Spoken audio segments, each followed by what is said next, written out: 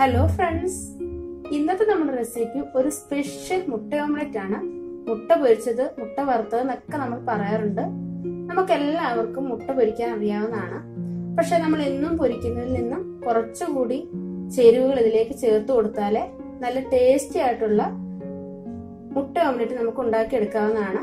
Cooking ഒക്കെ പഠിച്ചു തുടങ്ങുന്നവർക്കും അതുപോലെ നമ്മുടെ മുട്ട ഓംലെറ്റ് കുറച്ചുകൂടി ടേസ്റ്റി ആക്കാനുള്ള നല്ലൊരു വീഡിയോ ആണിത്. അപ്പൊ വീഡിയോ കണ്ടിട്ട് ഇഷ്ടമാവുകയാണെങ്കിൽ ലൈക്ക് ചെയ്യാനും ഷെയർ ചെയ്യാനും കമന്റ് ചെയ്യാനും ചാനൽ സബ്സ്ക്രൈബ് ചെയ്യാനും ഒന്നും മറക്കരുത് കേട്ടോ. അപ്പൊ നമുക്ക് വീഡിയോ കാണാം. അപ്പൊ ഞാൻ ആദ്യം തന്നെ ഒരു ബൗളിലേക്ക് രണ്ട് മുട്ട ഒന്ന് പൊട്ടിച്ചൊഴിച്ചു കൊടുക്കുന്നുണ്ട്. ഇത് റൂം ടെമ്പറേച്ചറിലുള്ള മുട്ട ആയിരിക്കണം. ഫ്രിഡ്ജിൽ നിന്ന് എടുത്ത് നേരിട്ട് നമ്മൾ എടുക്കരുത്. അപ്പൊ നമ്മളിത് ബീറ്റ് ചെയ്യുമ്പോൾ നല്ലതുപോലെ ഫ്ലഫി ആയിട്ട് കിട്ടത്തില്ല. അപ്പൊ ഫ്രിഡ്ജിൽ നിന്ന് കുറച്ചു നേരം നമ്മൾ വെളിയിൽ എടുത്തു വെക്കണം. എന്നിട്ട് മാത്രമേ നമ്മൾ ചെയ്യാൻ തുടങ്ങാം കേട്ടോ. ഇനി ഇതിലേക്ക് ഞാൻ കുറച്ച് ഉപ്പിട്ട് കൊടുക്കുന്നുണ്ട്. മുട്ടയ്ക്കൊന്നും ഒരുപാട് ഉപ്പിടരുത്. വളരെ കുറച്ച് മാത്രം ഉപ്പ് മതി. ഇനി നമുക്ക് അതിന്റെ കൂടെ തന്നെ കുറച്ച് മഞ്ഞൾപ്പൊടി ഒന്ന് ചേർത്ത് കൊടുക്കാം. കാൽ ടീസ്പൂണിലും താഴെ അളവിലാണ് മഞ്ഞൾപ്പൊടി ചേർത്ത് കൊടുത്തേക്കുന്നത്.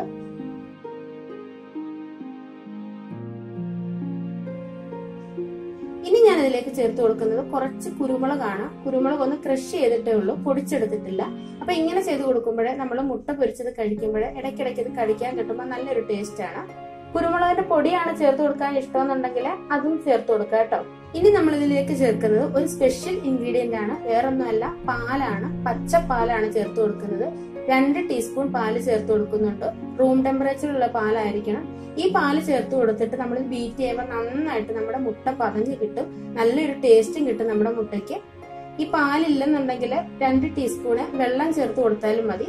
അന്നേരം ആയാലും നന്നായിട്ട് പതഞ്ഞ് കിട്ടും. പക്ഷെ പാൽ ചേർത്ത് കൊടുക്കുമ്പോൾ കുറച്ചുകൂടി ടേസ്റ്റ് കിട്ടും. അപ്പൊ ഇനി നമുക്ക് നന്നായിട്ട് ഇതെല്ലാം കൂടി ഒന്ന് ബീറ്റ് ചെയ്തെടുക്കാം. ഇതേപോലെ ചരിച്ചു വെച്ചിട്ട് ബീറ്റ് ചെയ്യാമെങ്കിൽ പെട്ടെന്ന് തന്നെ നന്നായിട്ട് പതഞ്ഞ് കിട്ടും. പിന്നെ നമ്മുടെ ചാനലിൽ ഇതിനു മുമ്പ് നല്ല നല്ല വീഡിയോസ് ഒക്കെ ഇട്ടിട്ടുണ്ട്. അതൊക്കെ കാണാത്തവരൊന്ന് കണ്ടു നോക്കുക. അപ്പൊ വേണ്ട ഞാനിത് നന്നായിട്ടൊന്ന് ബീറ്റ് ചെയ്തെടുത്തിട്ടുണ്ട്. ഇനി നമുക്ക് ഇതിലേക്ക് കുറച്ച് ഇൻഗ്രീഡിയൻസ് കൂടി ചേർത്ത് കൊടുക്കാനുണ്ട്. ഒരു ചെറിയ സവാള ചെറുതായിട്ട് കട്ട് ചെയ്താണ് ചേർത്ത് കൊടുക്കുന്നത്.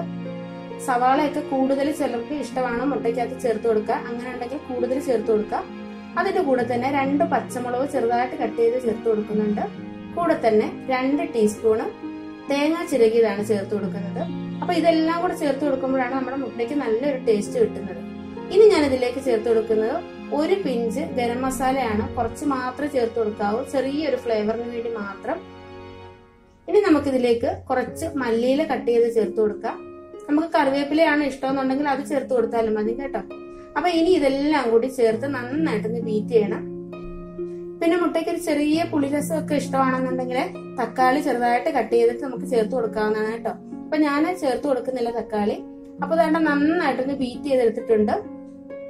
ഒന്ന് രണ്ട് മിനിറ്റ് ഞാനിത് കൈവിടാതെ തന്നെ നന്നായിട്ട് ബീറ്റ് ചെയ്തെടുത്തിട്ടുണ്ട്. നമ്മുടെ മുട്ട എത്രത്തോളം ബീറ്റ് ചെയ്തെടുക്കുന്നോ അത്രത്തോളം നല്ല ടേസ്റ്റ് ആണ്. അപ്പൊ അതാ ഇത്രയും മതി. ഇനി നമുക്കിത് പൊരിച്ചെടുക്കണം. അപ്പൊ തന്നെ ഞാനൊരു പാൻ അടുപ്പത്ത് വെച്ചിട്ട് ചൂടാക്കിയിട്ടുണ്ടായിരുന്നു. അതിലേക്ക് ഞാൻ കുറച്ച് വെളിച്ചെണ്ണ ഒന്ന് ഒഴിച്ചു കൊടുക്കുന്നുണ്ട്. വെളിച്ചെണ്ണ ഒഴിച്ചു കൊടുത്തിട്ട് മുട്ട പൊരിക്കുമ്പോഴാണ് നല്ലൊരു മണവും നല്ലൊരു ടേസ്റ്റും കിട്ടുന്നത്. ആ എണ്ണ ഞാൻ എന്റെ തവയിലൊക്കെ ഒന്ന് സ്പ്രെഡ് ചെയ്ത് കൊടുക്കുന്നുണ്ട്. അപ്പൊ നമ്മുടെ തവ തണ്ടെന്ന് അത്യാവശ്യം നന്നായിട്ട് തന്നെ ചൂടായിട്ടുണ്ട്. ഒരുപാട് ചൂടാവരുത്. ലോ ഫ്ലെയിമിൽ ഇട്ട് കൊടുത്തുകൊണ്ട് നമുക്ക് ബാറ്റർ ഇതിലേക്ക് ഒഴിച്ചു കൊടുക്കാം മുട്ടയുടേത്.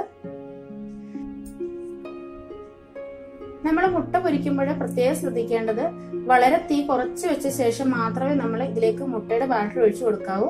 ഇല്ലെന്നുണ്ടെങ്കിൽ ഇത് പെട്ടെന്ന് തന്നെ ഇത് കരിഞ്ഞു പോകും.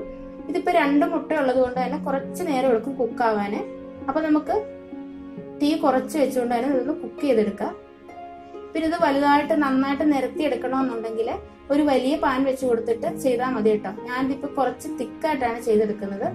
അപ്പൊ ഇതാണ്ട് നമ്മുടെ ഓംലെറ്റിന്റെ ഒരു സൈഡ് ഒന്ന് കുക്കായിട്ട് വന്നിട്ടുണ്ട്. ഇനി നമുക്കൊന്ന് തിരിച്ചിടണം. തിരിച്ചിടുമ്പോൾ നമ്മൾ പ്രത്യേകം ശ്രദ്ധിക്കേണ്ടത് നമ്മൾ കോരി എടുക്കുന്നതും തിരിച്ചിടുന്നതും പെട്ടെന്നായിരിക്കണം. അല്ലെങ്കിൽ ഇതങ്ങ് കട്ടായി പോകും. കാരണം നമ്മളിത് രണ്ട് മുട്ട ഉള്ളത് കൊണ്ട് തന്നെ നമ്മൾ ചട്ടുകത്തിൽ ഇങ്ങനെ കോരി നിർത്താൻ പറ്റത്തില്ല. പെട്ടെന്ന് തന്നെ തിരിച്ചിട്ട് കൊടുക്കണം. എന്നിട്ട് കുറഞ്ഞ ഫ്ലെയിമിൽ തന്നെ നമുക്ക് ഈ സൈഡും കൂടെ ഒന്ന് കുക്ക് ചെയ്തെടുക്കാം. ഇതാ കണ്ടില്ലേ? രണ്ട് സൈഡും ഇപ്പൊ കുക്കായിട്ട് വന്നിട്ടുണ്ട്. നല്ല ടേസ്റ്റ് ആണ് ഇത് കഴിക്കാന്. അപ്പൊ എല്ലാവരും ഇനിയും മുട്ട ഓംലെറ്റ് ഉണ്ടാക്കുമ്പോൾ ഇതുപോലെ ഒന്ന് ഉണ്ടാക്കി നോക്കുക. അപ്പൊ എല്ലാവർക്കും ഇന്നത്തെ വീഡിയോ ഇഷ്ടമായെന്ന് വിചാരിക്കുന്നു. വീഡിയോ ഇഷ്ടമായിട്ടുണ്ടെങ്കിൽ ലൈക്ക് ചെയ്യാനും ഷെയർ ചെയ്യാനും കമന്റ് ചെയ്യാനും ചാനൽ സബ്സ്ക്രൈബ് ചെയ്യാനും ഒന്നും മറക്കരുത്. അപ്പൊ നമുക്ക് അടുത്ത ഒരു നല്ല വീഡിയോ ആയിട്ട് വളരെ പെട്ടെന്ന് തന്നെ കാണാം. അതുവരേക്കും ബൈ